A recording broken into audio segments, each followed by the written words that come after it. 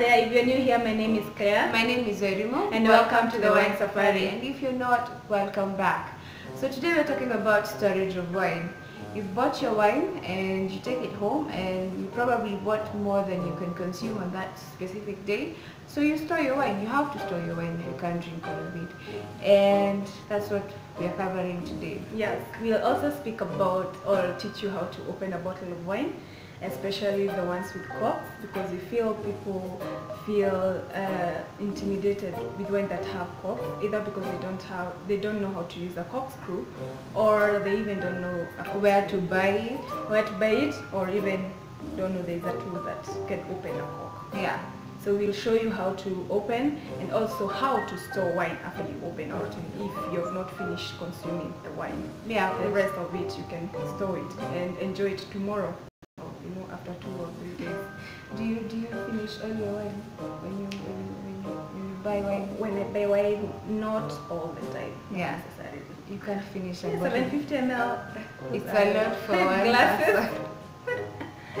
yeah, so eventually comes the time when you have to store wine and you Mm. can't drink all of it. So we'll also cover after opening what, what to do. Yeah. So before opening, Mm. There are things that you should actually pay attention to if you want to eventually have a good bottle of wine. And things like storing wine in the, in the right place and at the right temperature. Mm. And there are things to avoid as well. Yeah. So we we are talking this on basis of storage of wine whenever, when whichever place you have, you don't have to have an, a cellar or a, Basement. or a basement or, or a cooler, a wine cooler. You can place them in other places like a closet. Yeah, just wine cool, keep your wine in a dark place. Say if you don't have a fridge, if you don't have a cellar, you can look for somewhere somewhere cool and dark in the house. Like at the bottom of your closet or wardrobe. Or Wardrobe, cabinet in the kitchen. Yes. it doesn't have to Yes, be in the kitchen, bedroom. in the kitchen, but kitchen is a bit hot because of the ovens and all that.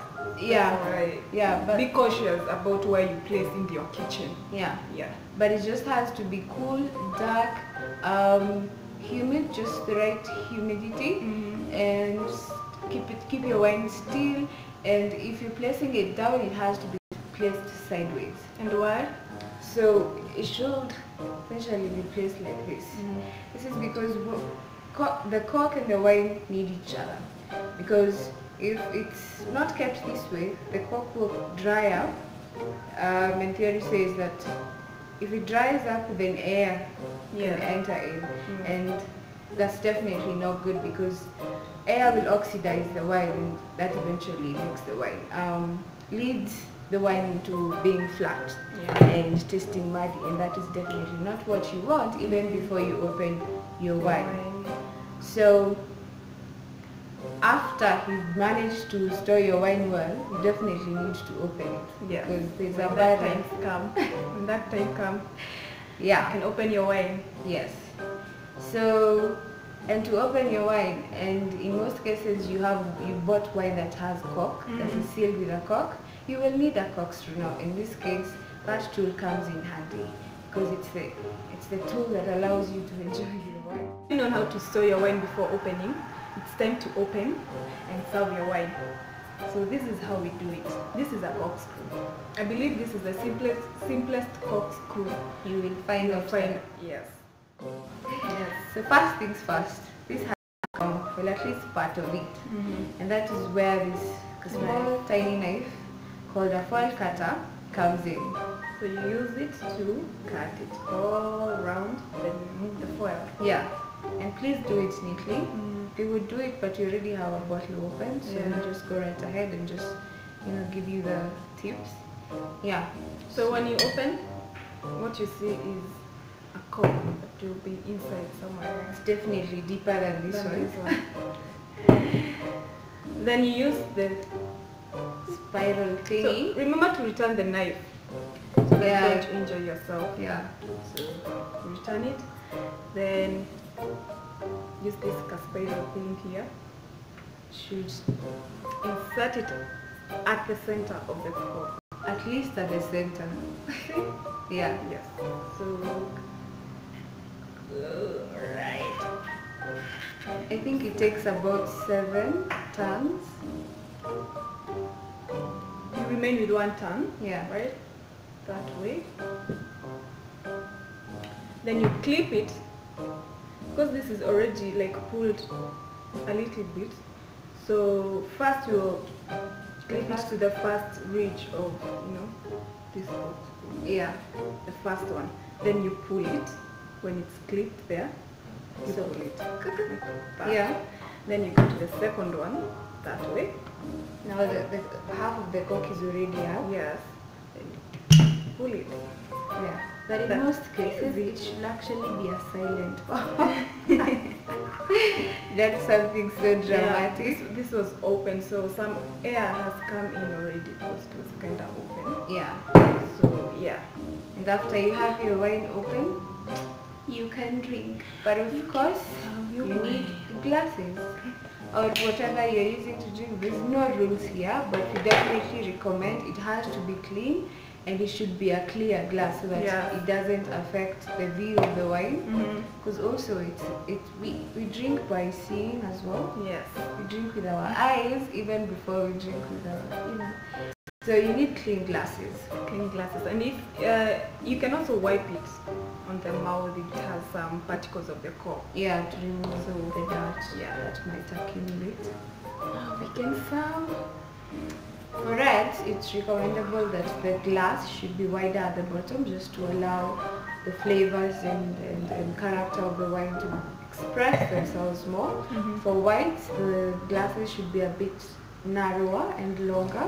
Yeah. And for sparkling, definitely the flutes are perfect so that the, the longer the, the glass is, the more the sparkling or champagne has room for the bubbly, the bubbles because that's, that's the beauty of, of drinking champagne or sparkling wine. Mhm. So yeah, you have your wine open, you have your glass, You have served it, but there, there are different uh, temperatures of serving wine. Yeah. So of course there's an ideal temperature for each for different types of wine, Yeah. styles of wine. So for red, um, the ideal temperature would be 16 to 18 degrees Celsius. Yeah. And for white, it's 13 to 16 degrees Celsius. Yeah. But I mean, I don't think we actually pay attention to that a lot. But in terms, if you have a restaurant, in most cases, it's Mhm. good to to check on temperature wise Yeah, that yeah, way. Yeah. But if you're just at home and and you paid attention to storing it and your your home is not too hot, it's always it, it will always work for the best. So generally, chill your, all your sparkling, rosé and white wines. Chill them before serving. Yeah. Yeah. And a good tip is when you take out the, the whites, just put in the reds for a few moments. That's in the case now that you actually have a fridge at home.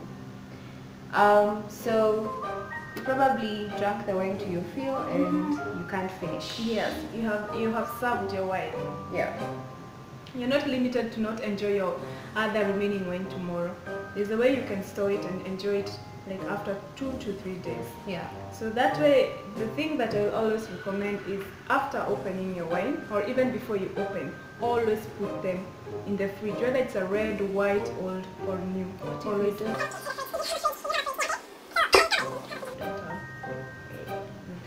So, first thing you do, you open your wine, you serve the right amount that you want, and immediately cork it and return it to the fridge. That way, it will, when, when wine is cold, it slows down the process of oxidation. So you will be able to preserve it for more days. Yeah. If you don't have a fridge, don't worry, or a cooler, you can uh, transfer the remaining wine to a smaller you know, bottle.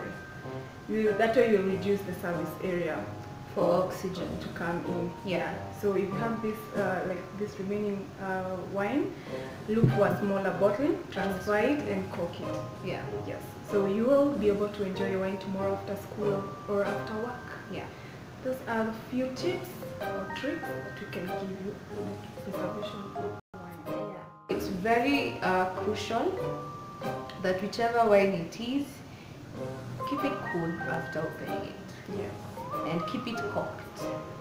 And um, other although there are cases where you just find yourself pouring it down the sink, which can be very devastating. But just to prevent that from happening, call friends and have And them, enjoy the Help. wine together. yeah, help you finish the wine. Yeah. So guys, having uh, talked about all those tips, storage, and also showing you how to open, that shows that wine is also perishable. Yes. So taking take care of it the same way you take care of your perishable vegetables or groceries. Yes.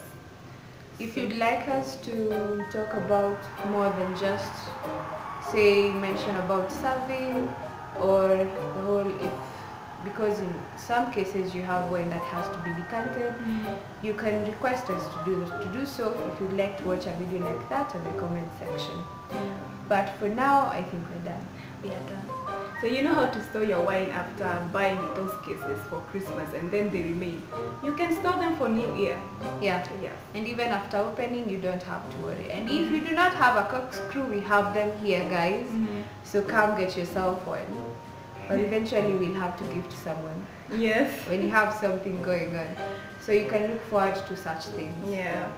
So now we have come to the end of our video today and we appreciate for giving us your time. So let us see you another day. Next time, Same place, same time. take care of your wine. Bye. Bye.